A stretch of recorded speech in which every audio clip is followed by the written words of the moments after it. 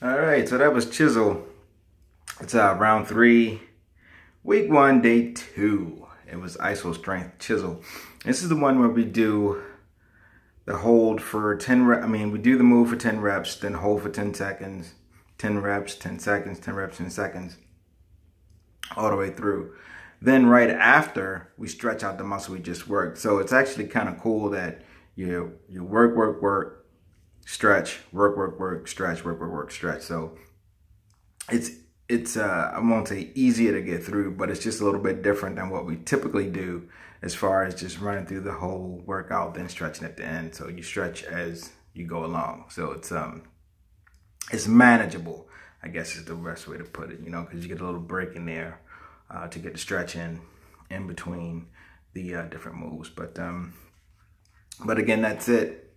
That's that. Again, we did the same thing as far as going up in weights for uh, just about all the moves except the last one. I, we end with the friggin' lateral raises again for the shoulder. So definitely again stayed in the lower weight range on that and just maintain proper form. But um, that is that.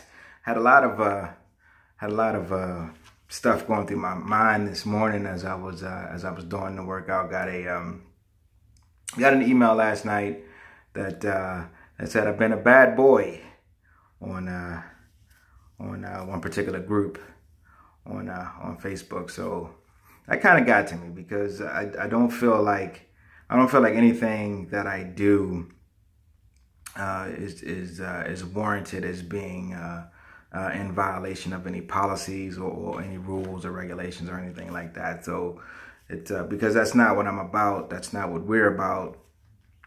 So uh, that, that kind of got to me last night, and I was kind of thinking about it as I was going through the uh, through the workout here this morning. But um, again, it's like anything else, you know. I'll, I'll uh, I understand, or I guess I don't really understand why I got the email, but I guess you know you, you got to play by the rules, and uh, so I'll um, I'll just be sure to be better about that. I don't want to be a uh, a bad boy. So that's that. If you haven't pressed play yet today, make sure you press play.